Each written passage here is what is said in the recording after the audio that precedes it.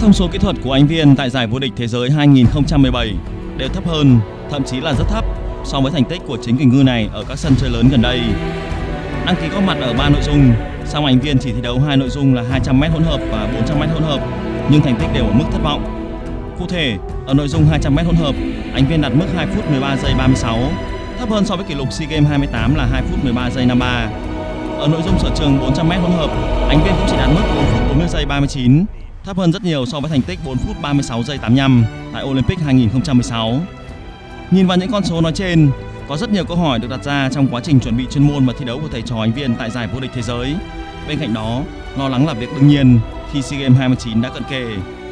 Tuy nhiên, theo lý giải của các nhà chuyên môn, việc anh Viên đạt thành tích thấp tại giải vô địch thế giới cũng chính vì SEA Games 29 đã khá gần và kình ngư này không thể dốc toàn lực ở giải thế giới. Theo tính toán, anh Viên sẽ đạt phong độ tốt nhất và kình ngư này được giao chỉ tiêu giành ít nhất 6 huy chương vàng ở kỳ SEA Games này và các nhà chuyên môn đang có tính toán kỹ lưỡng để kình ngư này hoàn thành nhiệm vụ. Anh Viên đánh giá là bây giờ thì cái đối thủ Đông Nam Á thì anh Viên không có.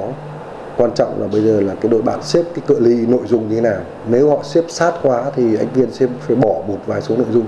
Đấy, nếu mà họ xếp thưa ra thì, thì anh Viên hoàn toàn có thể lấy được 10 trên trên dưới 10 cái huy chương vàng. Nó còn phụ thuộc vào cái lịch của ban tổ chức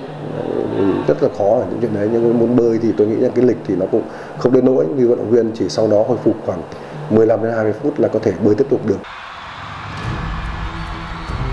Sở dĩ anh Viên phải nhận một chỉ tiêu huy chương bằng ít nhất 5-6 đội tuyển các môn thể thao khác của đoàn thể thao Việt Nam cộng lại là do anh Viên có khả năng và có cơ hội hiện thực hóa điều đó ở môn bơi.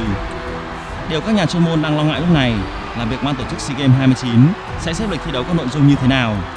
Nếu có một lịch thi đấu thuận lợi, có thời gian để hồi phục thể lực và các nội dung thi đấu không quá trồng chéo, anh Viên chắc chắn sẽ lại làm nên kỳ tích. Trong trường hợp lịch thi đấu giữa các nội dung khá sát nhau,